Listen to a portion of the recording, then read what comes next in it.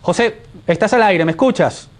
Sí, perfectamente, Alejandro. Efectivamente, a cerca de la una de la tarde se registró una situación bastante irregular cuando a las instalaciones del canal de noticias, Globo Visión, ubicado al norte del área metropolitana, arribaron 25, 25 aproximadamente ciudadanos a bordo de motocicletas, quienes luego de amenazar a mano armada al personal de vigilancia, ingresaron dentro del perímetro interno de las instalaciones de este canal televisivo para luego eh, detonar bombas lacrimógenas y causar en el lugar bastante desorden. Vale la pena mencionar que en el lugar justo al frente, a pocos metros del lugar por donde ingresaron estos eh, ciudadanos irregulares, eh, se encuentra instalado desde hace varios días eh, funcionarios de la Policía Metropolitana quienes de alguna manera prestan este tipo o deberían prestar algún tipo de resguardo a estas instalaciones y todo ocurrió con la presencia de estos uniformados de la Policía Metropolitana.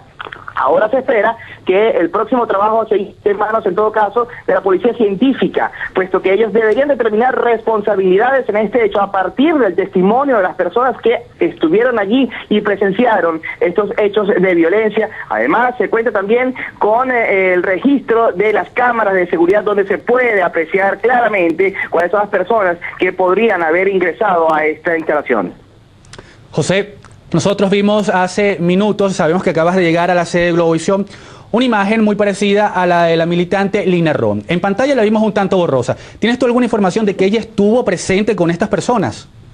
Efectivamente, el testimonio de las personas, de, las personas que se encuentran en Globovisión, revela que se trata de esta ciudadana quien en reiteradas oportunidades ha determinado que Globovisión y la directiva de este canal es objetivo militar. Recordemos que no es la primera vez que Lina Ron amenaza a los periodistas o a los comunicadores sociales en Venezuela cuando de alguna manera critican las fallas de la administración pública. Sin embargo, eh, en todo caso, la tarea es de parte de las autoridades pertinentes quienes deberán, en todo caso, tienen el deber de eh, establecer responsabilidades y señalar a los culpables este lamentable hecho que atenta la integridad física, la propiedad privada y la libertad de expresión.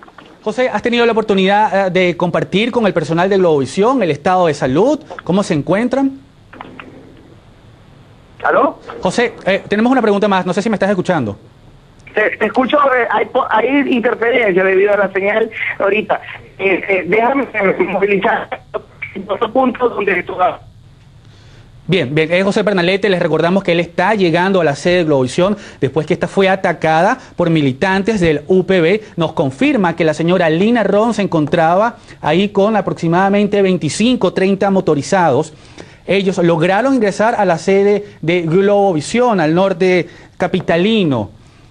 Eh, eh, ahí tienen las imágenes, si ustedes están incorporando a, nuestro avance informativo, en el momento en que huyen estas personas después de haber detonado bombas lacrimógenas y haber ingresado con armas de fuego a nuestro canal hermano uh, Globovisión. José Pernalete ya se encuentra en el lugar, tuvimos algunos problemas con la conexión y estamos intentando contactarlo para que nos amplíe un reporte y saber sobre todo del estado de salud de las personas que trabajan en Globovisión. Eso es eh, bien importante que nos lo aclare. También nos comentaba que esto sucedió frente frente a policías metropolitanos que, como ya comentaba el director general de Globovisión, Alberto Federico Rabel, están ahí por órdenes de la Corte Interamericana de Derechos Humanos de resguardar a los trabajadores y las instalaciones de Globovisión.